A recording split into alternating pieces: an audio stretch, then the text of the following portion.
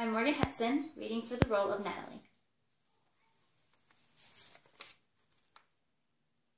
Look, I uh, spoke to Sam Cahill today. His stories, the, you know, that Natalie asked to go up to the room and it was consensual uh, the whole way through. So if Natalie, you know, has a different story, like you said, I'm really going to need to hear it myself. Otherwise,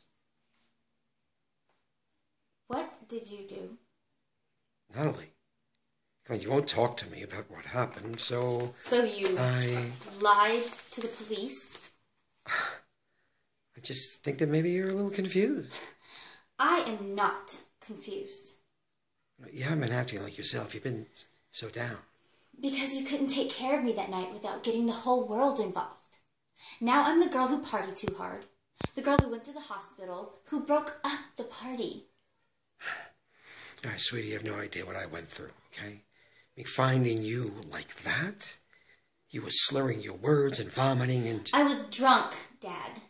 That's what happens to people. Not to you. God, I act my age for once in my life, and I end up with doctors, the police, my father interrogating me while my head is still spinning. Look, if you're ready to try those questions again, You're not listening to me. I had sex with Sam Cahill. He didn't force me to drink. He didn't force me to do anything, okay?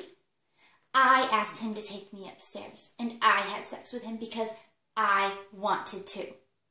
And yes, I've been down. I've been down because losing your virginity is supposed to be a special memory, not this embarrassing public circus that you are only making worse. sweetie, come on, you... No! I'm not your little girl anymore, so stop treating me like one. I'm sorry if that's hard for you to face. I really am. Maybe if mom were here. Please. You don't even know your mother. You didn't even know her.